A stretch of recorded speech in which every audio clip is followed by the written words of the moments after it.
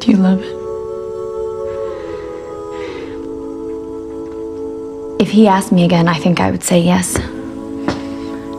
Do you think he'll ask me again? But do you love him? I care more to be loved. I want to be loved. That is not the same as loving.